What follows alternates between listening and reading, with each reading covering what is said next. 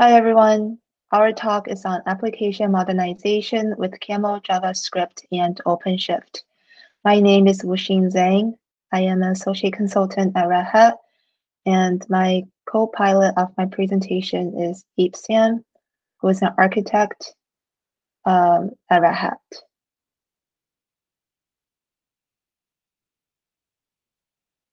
So application modernization. There are five parts to application modernization. For service endpoint, we migrate web services to APIs. For architecture migration, uh, modernization, we want to break down monolith into standalone microservices because they are easier to maintain and to share the code. To modernize development process, we want to modernize waterfall approach to CI/CD so then you can release on a daily basis, like agile transformation. And for deployment, we want to modernize virtual machine on-prem to containerize images. And lastly, for infrastructure, we want to move data center to cloud. Integration points. Before, on the left-hand side, um, we have a big cluster of dependencies. It's hard to carve out a piece of the application to modernize because in order to modernize an application, you also need to identify the dependencies to modernize at the same time. And now we have um, this graph on the right-hand side that shows once you have an application to modernize, you can create clusters of dependencies meaning we are breaking down the dependencies into smaller multiple clusters. So instead of having one giant cluster depending on each other, uh, we have small clusters of dependencies. And doing so, we can maintain low risks. So Camel, what is Apache Camel? Apache Camel is an upstream project that we use for integration technology at Red Hat. Apache Camel is Java-based based on enterprise integration patterns. Apache Camel started its life as an implementation of the enterprise integration patterns book. It comes with 300 components out of the box you can use. Integration can range from simple timer to log dummy examples to complex processing workflows connecting several external systems. Camel has built-in data transformation, intuitive routing, and provides native REST support.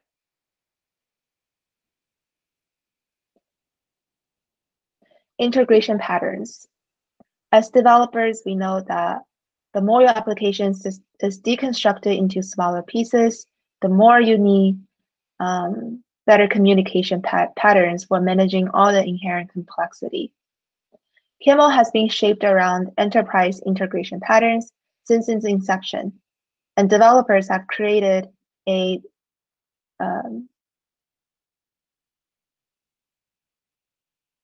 DSL that often maps patterns in a one-to-one -one relationship. These patterns are agnostic of programming language, platform, architecture, and provide a universal language, notation, and fundamental messaging and integration. Camel continues to evolve and adding new patterns from service-oriented architecture, microservices, cloud native, and serverless. Camel has become a general pattern-based integration framework suitable for multiple architecture. I am not exaggerating if I state that Camel DSL is the language of enterprise, enterprise integration pattern. It's a language that expresses better than most of the patterns that were present in the original book of integration with other patterns that have been added by the community during all these years. And the community keeps adding patterns and new components in every release. In this slide, you can see that we have a split orders pattern that splits the order from a larger order and have each item be sent to either electronics or other areas. Apache Camel is a powerful integration library that provides lots of integration connectors. As you can see, there are hundreds of Java libraries that use Camel connectors using uh, this Camel endpoint notations. these URIs are also universal. Here are more examples of camel, camel components. You can Google camel components and you will find a lot of them. Camel routes. So like I said before, Camel has multiple domain-specific language for DSL. It supports XML, Java, Groovy, Kotlin, and of course JavaScript. There are good reasons to use both Java and XML DSL. Camel Route expresses the enterprise integration patterns.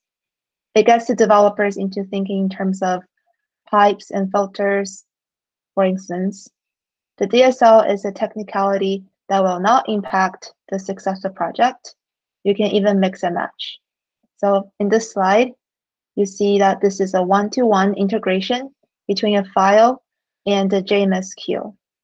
At runtime, it does not matter for Camel whether you write it in XML or Java.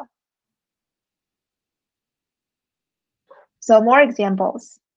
Here, from a file called inbox, we split the body based on line. For each of the lines, we turn it into a custom XML. And for each of the XMLs, we send it to an ActiveMQ called uh, active MQ called line. Integrations are great for connecting systems, data transformations, as well as creating new microservices. REST DSL. Camel also offers a REST-styled DSL which can be used with Java or XML. The point here is for end users to define REST services using a REST style with verbs like get, post, delete, and etc. The REST DSL supports the XML DSL using either Spring or Blueprint. Here, to define a say path, we can set the base path in REST say and then provide the URI template in the verbs it also accepts data format setting. Okay, uh, let's talk about Camel JavaScript. In this sample, we use JavaScript function to create a predicate in a message filter. The message filter is enterprise integration pattern. It allows you to filter the messages, obviously. For example, if the predicate is true, the message will be routed from QA to QB. This route path routes exchanges from a main user to a special queue. We can write this in Spring DSL as well. Here's another example of Camel JavaScript. As you can see, the integration written in JavaScript is very similar to a Java one. Here, from the timer tick, process a function that prints hello camel k to log info. To run it, you just have to execute camel run and the name of the file. For JavaScript integrations, CamelK does not yet have an enhanced DSL that you can access to some global bounded objects. In this sample, we're using context.get component of the previous log component and use exchange formatter property to do something like this. Camel script context. Uh, JSR 223 lets you use the power and the flexibility of scripting languages like Ruby, Groovy, and Python on the Java platform. Camel supports a number of scripting languages which are used to create an expression or predicate via JSR 223, which is a standard part of Java 6. Camel script context is extremely useful when you need to invoke some logic that are not in Java code, such as JavaScript, Groovy, or any other languages. Properties is the attribute of CamelScript context. As you can see here, before Camel 2.6, 2.9, if you need to use the properties component from a script to look up property placeholders, it is a bit cumbersome to do so. However, since Camel 2.9, you can now use the properties function and this and the example is much simpler. Here, in this example, function with a resolve method makes it easier to use camel properties component from scripts. You can also load scripts from external resources.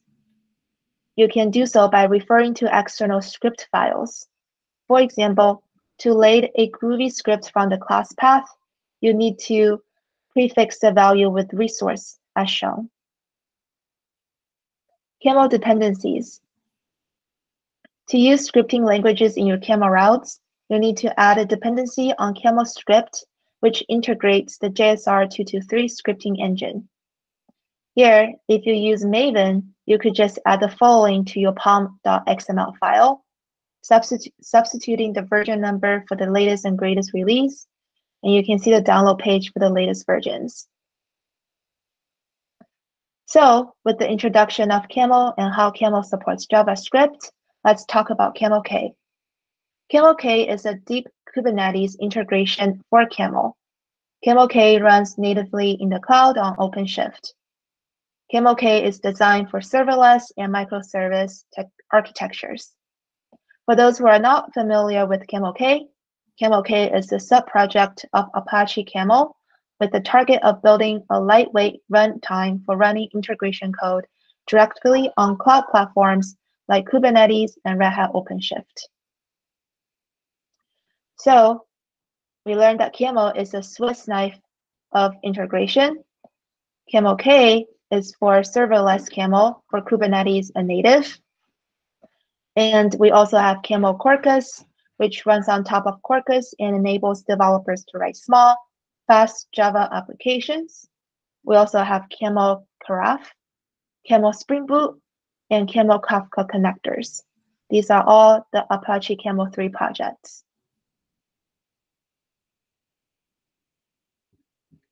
So Apache Camel K configuration. In order to run Camel K, um, you'll need access to a Kubernetes or OpenShift environment.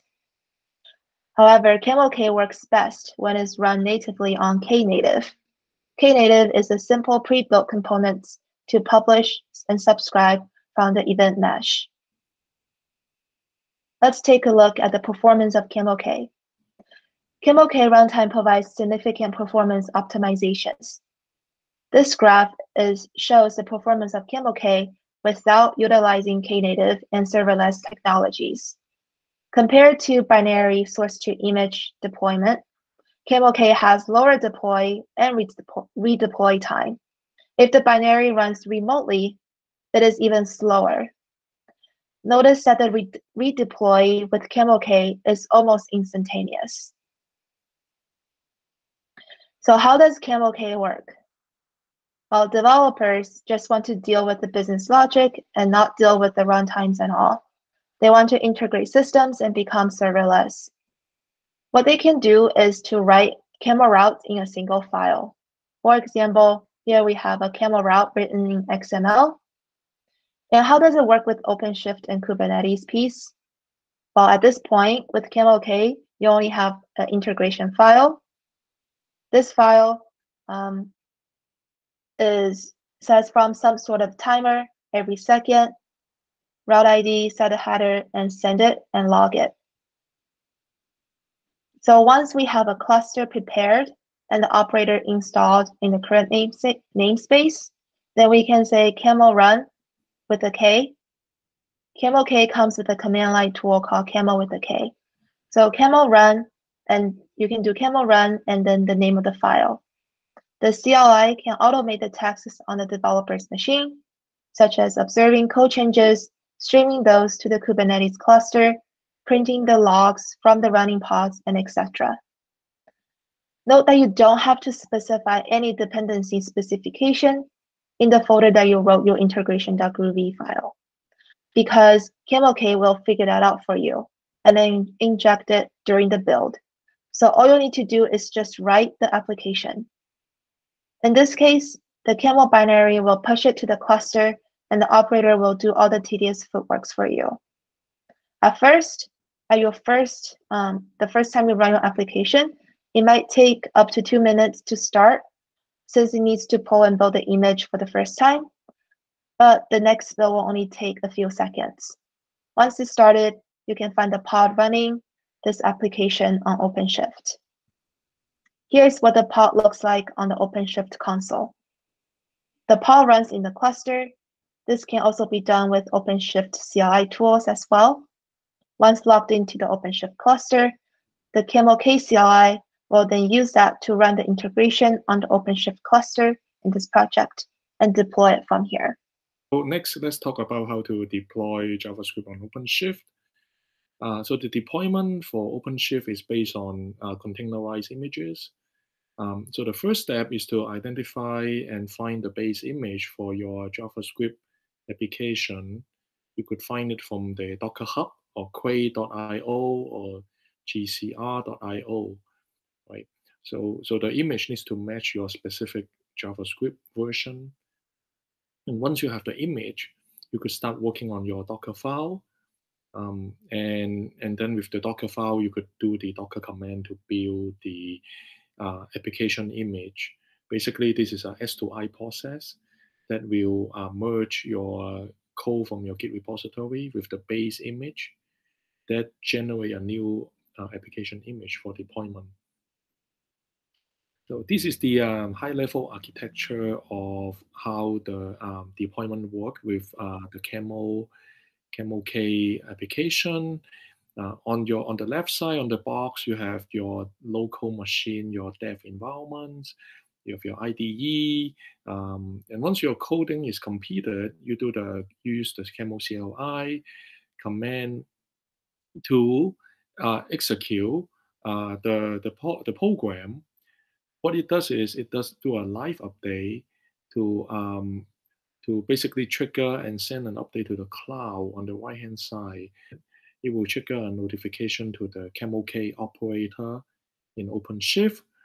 The, op the operator will get notified and then deploy the latest change to the pod based on the integration definition. Whilst the service architecture is autonomous, it's loosely coupled, right? In the modern days, people have talked more about microservices, um, the idea is that we want to make the microservices single cup, single responsibility, single purpose, stateless, right? All these specific uh, um, application program state will be moved away from the microservices and kept in some sort of persistent volume claim or databases, right? Each microservice is independently scalable and they could also be independently automated. And then on the far right hand side, we have serverless architecture, right? Serverless is based on single action, right? And this is also temporary. So when we talk about Camel K, Knative profile, um, so this is an example of a workflow. On the left hand side, you have some sort of um, you know camel definition. Um, you see eh, from um, from the form attribute, you see that this is getting the information from the Knative uh, channel, and then the tool attribute saying that uh, it get the information from Knative channel and send the information to the uh, specific HTTP my host API path. This is a very simple um, uh, camel definition. You put this into a, uh, uh, YAML file, right? This YAML file has an integration as a kind, right? The API version is using uh, camel.apache.org version 1 uh, alpha. And this is an example of a YAML file for deployment in OpenShift, right? So once you set up the uh, YAML file, all you need to do is to pass this along to the CamelK operator. When the CamelK operator got notified, the operator will look at the file and make a decision. Is it a Knative profile? Right? If this is yes, this is a Knative profile, then it will generate a new YAML file, set the kind to service, and then um, use that new file for deployment. Right? If this is not a Knative profile, right? In this case, this is just a deployment object, right? Then it will generate the new deployment kind YAML file based on the information and use that for deployment. Yeah, so this is a high level architecture of how the CamelK operator would work. Serverless and Knative. Um, so now it's really important to understand how we could apply Knative to serverless. um, serverless is basically is an execution model where the code is executed by a dynamically allocated resources. When you have the code available, it trigger a notification and the resources got spin up to execute a specific piece of code, right? Serverless remove the, the need of traditional um, uh, deployment model, right?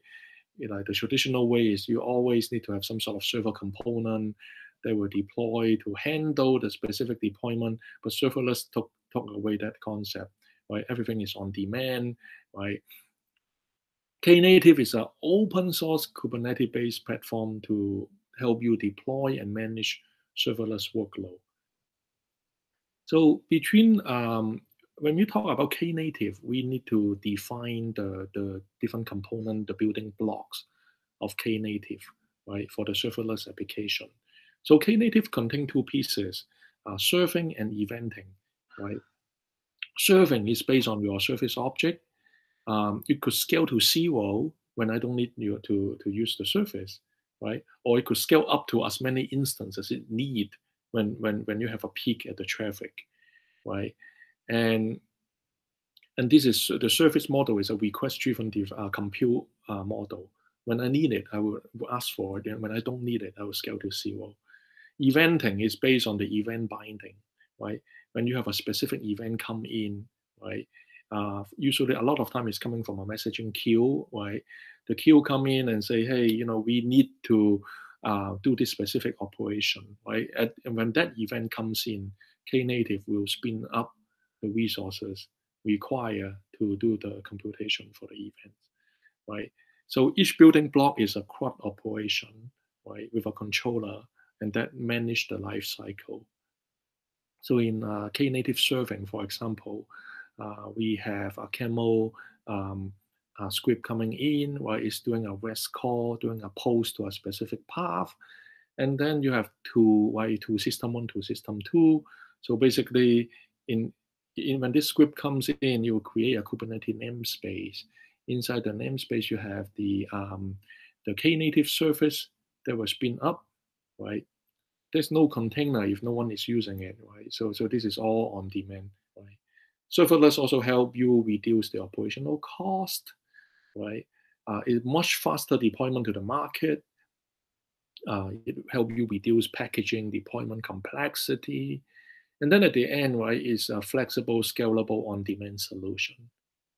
And you can see this um, chart on the left and on the right, right? The left side show a traditional IT organization, um, how much they were overpaying, right? Majority of the time on the yellow line, right? Um, your, your demand is on the red line, but you were uh, you need to basically have a 20%, 30% margin to make sure that you cover the demand. When there's a peak on the day of Thanksgiving, right, you are not able to meet the demand, right? So this, this is a traditional problem of predicting the usages and, and computational resources that a lot of IT department were having difficulty. Um, Camel K stay between um, microservices and serverless, right? underneath that, you have Quarkus, right? Quarkus is also an important component. Um, that is also kind of between microservices and serverless. And Knative is completely serverless, right? Um, and then you have streaming, AMQ, messaging queue. Those are working, you know, could be both microservices and serverless. And then underneath that, we have OpenShift. So the event-driven um, uh, uh, computation is happening between the messaging queue Knative, uh, Camel, and Quarkus.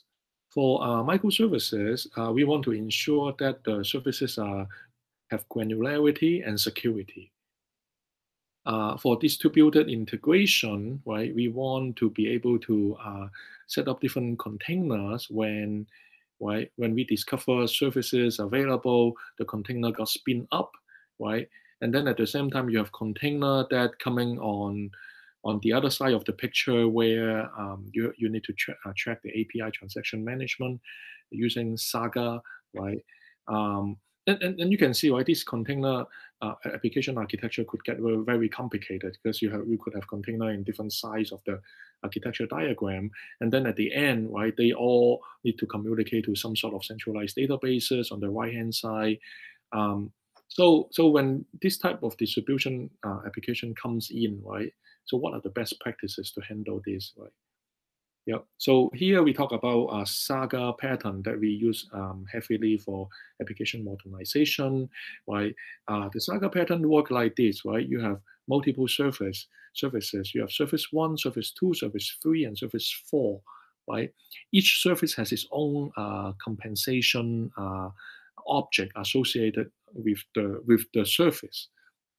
So what happens is when you have service one making a call to service two, right? And then uh, when service two make, make the call back to service one, and then you need to make the call to service three, and then come back, right? Each each step, the compensation um, object will get notified, right? In that situation, uh, it could um, basically hand um, based, based, based on the request and response, uh, it could make a decision, right? Should it continue making call uh, in the orchestration service orchestration, or should it go back, return the return the call back to the caller and do something else, right? So this is a very useful Saga pattern that um, that can help handle service orchestration.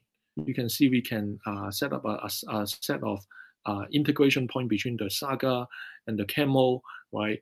And and the first Saga is basically saying that I I'm making a pop uh, propagation um, to to uh, to the to to the to to the uh, make to make the service call, and this is a mandatory uh, uh, propagation, right?